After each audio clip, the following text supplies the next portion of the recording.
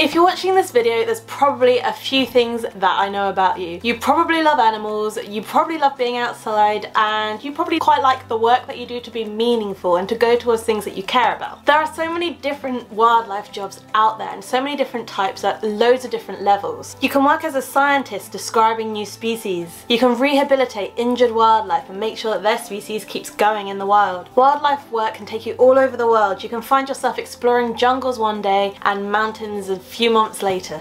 You can volunteer in conservation programs or even lead them. You can help hatch crocodiles and release sea turtles back into the ocean. If marine wildlife is more your thing, there is so much to study in the ocean. You can be on its surface or you can go diving with its inhabitants. There is so much work to be done to protect the world that we live in. And luckily, so many different people are needed to fill these roles.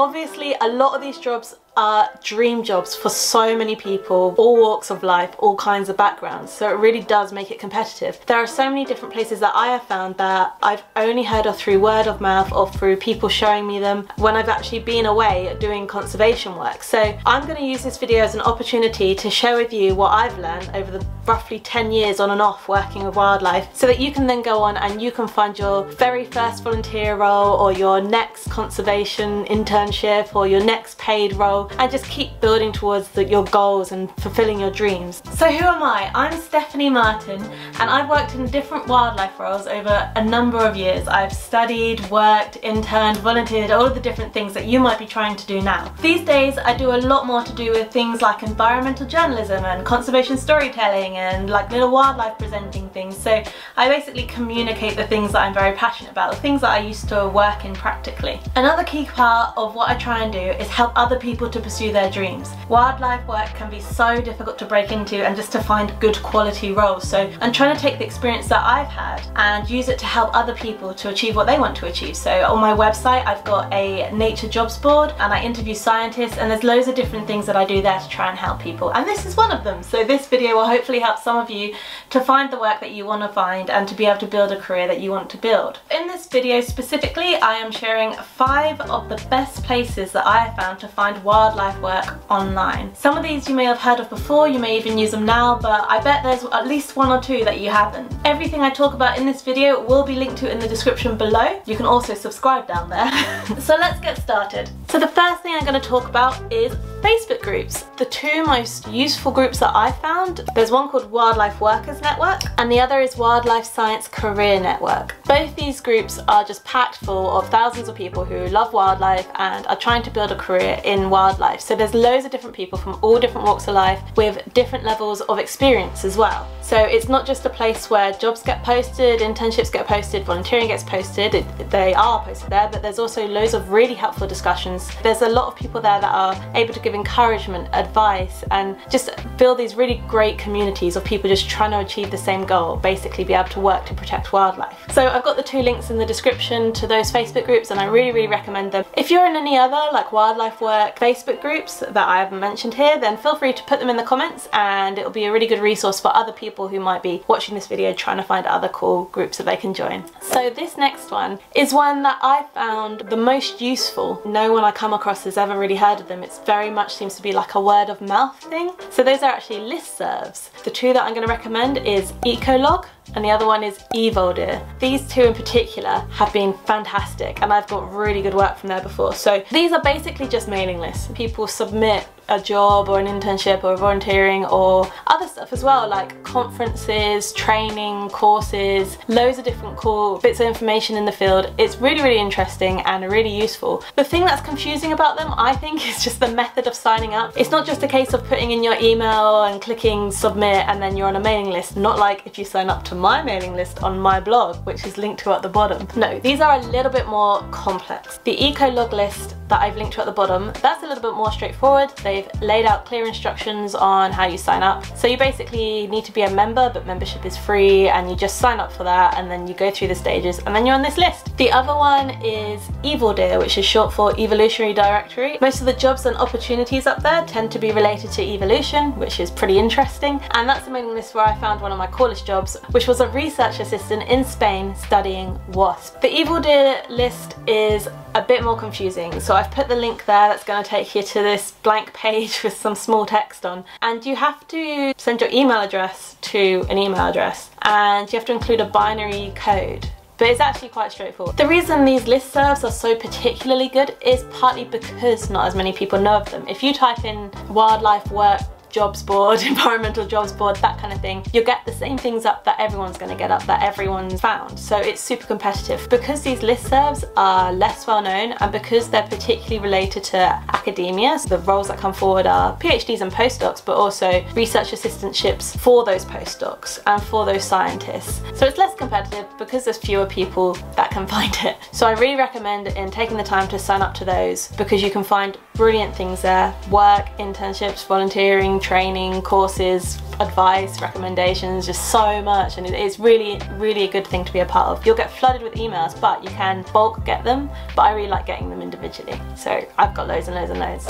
This next one is probably the most obvious one. It's specialised job boards. So you've probably signed up to some already. In the UK, one of the big ones is environmentjob.co.uk, linked to in the description. In the US, a pretty good one I found is the Conservation Job Board, and that as well I linked to at the bottom. So I'll link to a bunch of ones that I know about and that I know to be good in the description. I'm sure you'll be able to find more in your country or in your area as well. You can find really specific ones. So that is about doing a bit of a Google search really like environment jobs board, this area, or wildlife careers, this area, and just seeing what comes up but I've put the overall big ones that I know about and that I've personally found really useful in the description. Another thing that I found pretty useful recently is just going onto those like massive jobs boards, you know like Indeed or Monster, ones like that, and you can set up alerts for keywords. So I have one set up for like wildlife, science communication, like loads of different things that I'm interested in and specific phrases so you could set one up for like ranger or conservation volunteer, like stuff like that. I get them sent directly to my email emails. I don't have to go trawling through like pages and pages of stuff. I would just never do that. But emails I find very good. Utilize your emails. I don't read all of mine, but I utilize them. I also have a specialized jobs board on my website. It's called Global Nature Jobs. So it's just jobs relating to nature. Although there's also volunteering, internships, PhDs and postdocs listed in different categories. So I'll link to that at the bottom. You can also subscribe at the top of that page and then I just send you a weekly roundup of all of the new positions that have come through and you can click you can look at the page and then you can subscribe and then you can get your dream role. You are welcome. My final recommendation is a specific list that Google comes up with. So if you Google any phrase and then jobs, Google comes up with this automatic list of jobs that are near you that fit that description. And I find that really fantastic. So those are the five main sources of jobs internships, basically opportunities for working in wildlife. So now I'm going to give you guys a few tips, a little bit of advice, just some little bits that I've picked up along the way that you might also find useful. One of the biggest tips I can give you, start saving. Just start a little fund that's just gonna be, this is for my career. And I know that this advice is really generic for anyone, all the time, everywhere. I never did that and I do regret that. Start saving now and it will really help you out in the long run. Wildlife conservation can be such an expensive field to start out in. So it's just getting into the frame of mind that this is gonna be reality for a little while or a long while. The other bit of advice I have, quite obvious, volunteer. So volunteer locally. Because I really love tropical rainforests, I was like, well, I have to go to them. That's where I need to volunteer an internship and stuff. I can't just do it locally. But obviously, I absolutely could have done it locally and I could have had really good transferable skills. Even if I volunteered doing stuff to do with like trees, like there's trees everywhere. That's transferable. You could volunteer to help out researchers or postgrad students at local universities. Look online, there's probably going to be a volunteer organisation near you. The conservation volunteers, that's a pretty big one in the UK. Definitely try try and seek out those opportunities and even if you think like, oh, it's not exactly what I want, it'll be transferable and more importantly, it just evidences your passion. That's what employers and that will care about. They won't care about how specific it is necessarily, particularly when you're, if you're still at uni or if you've just started working or whatever,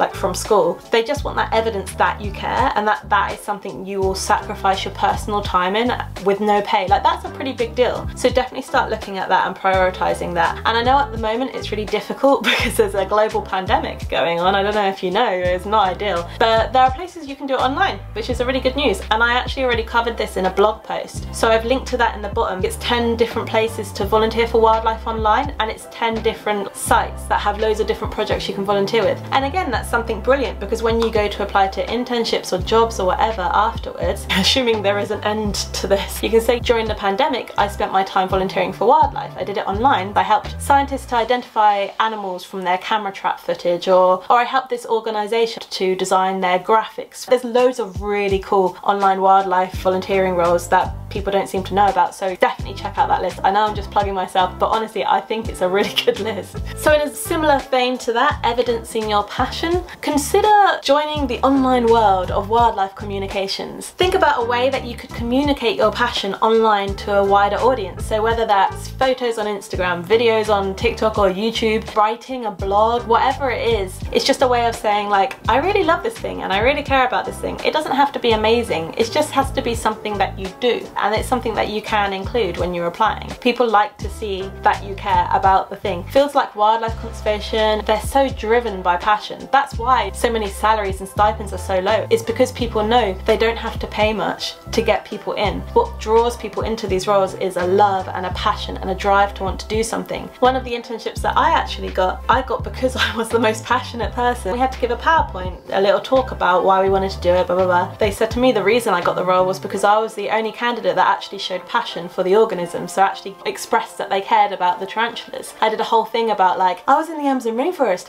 look at these spiders I saw, I thought they were so cool, look at these arachnids, and like talked about like, oh I love tarantulas because tarantulas are like big and furry. I didn't say that, I said like actual good stuff, I just can't remember it now. But I evidenced my passion and I had photos and I had stories and because of that they selected me. They said there were people that are more skilled than me, that had more experience than me, but they wanted someone that cared and that makes sense. If you're someone running like an NGO or like a non-profit to do with wildlife, they're gonna want somebody that cares. So even if you don't have quite the qualifications or quite the experience, you can still get lucky because you can still connect with someone on that level of like, we really want this thing to be good. Don't worry about time, don't compare yourself to like, oh, my friend is doing this amazing thing, but I've only done these things. Ugh. Like everyone's on their own path, everyone gets exposure to different opportunities. Just keep building your own little blocks up and up, like one thing at a time, a little bit of volunteering here, a little networking there, like you will get to where you want to be. Just don't stress about time. It just doesn't matter. If you're doing what you're passionate about, it just does not matter how long that takes. What would you be doing instead? Something you're not passionate about. That'd be stupid. Keep going. So we come to the end of this video. I hope you've enjoyed it. I hope you found it useful. If you have, then please like and subscribe. This is a fairly new YouTube channel, so any sort of interaction you have is really, really nice and lovely and makes me really happy and smiley. If you want more wildlife careers advice, then definitely check out my blog. There's some cool stuff there, like free online conservation courses, other stuff I mentioned earlier, the Global Jobs Board. I also send around new jobs every week. And if you subscribe to the channel, you also tick the bell thing and then you can get notified when I make new videos. So I sort of alternating between little wildlife adventure videos and then more informative videos like this. So like I'll be doing quite a lot more to do with building a wildlife career, resources, things like that. So definitely subscribe if this is a field of work that you are interested in going into because there will be more useful information. Thank you for watching my video. Good night. What was I saying? Oh, hello There's a magpie outside. Chubby little magpie.